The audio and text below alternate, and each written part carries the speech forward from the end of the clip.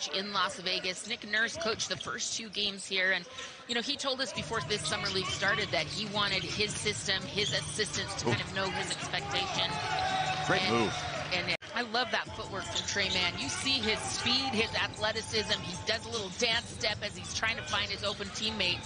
He has just shown us so much. I think Tre Mann has maybe shown me the most out of anybody here in Summer League outside of earlier this year with the Utah Jazz where he scored, what did he score, 59, 62 basketball. He just finished his season in the French Basketball League.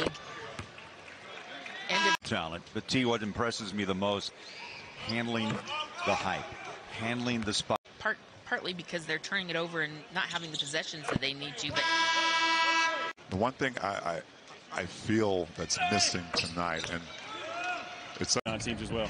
All right, before I let you go, last question. It's really awesome to me to see former players getting into the front office. Tell me what's important about your path that you want other guys to know is important. What's and T, you have to like the road he took. And I mean, he, he, he appreciates it. And I loved watching him play.